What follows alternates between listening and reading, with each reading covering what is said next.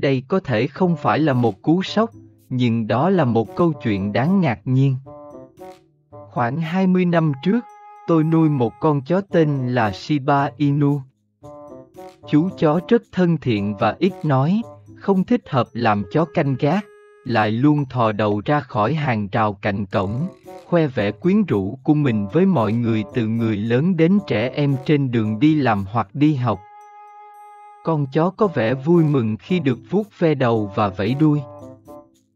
Một buổi sáng sớm, khi tôi đến gần con chó của mình để dắt nó đi dạo, tôi thấy có thứ gì đó buộc vào phía sau cổ con chó của cô ấy.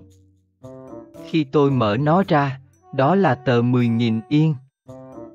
Tôi ngạc nhiên và tự hỏi phải làm gì với điều này.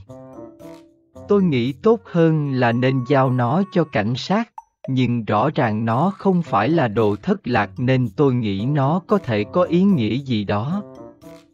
Vì vậy, đêm hôm đó, tôi đã dán chiếc phong bì vào cổng có dòng chữ gửi người đã tặng quà cho con chó của tôi tối qua.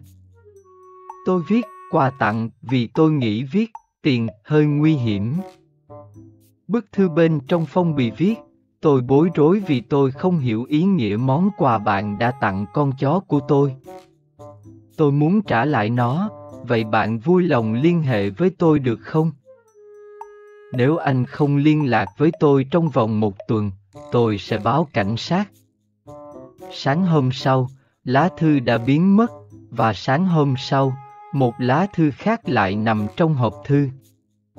Những gì được viết ở đó là Tôi đã phải trải qua rất nhiều khó khăn trong vài năm qua, nhưng tôi cảm thấy phấn chấn hơn khi được nhìn thấy chú chó của bạn mỗi sáng.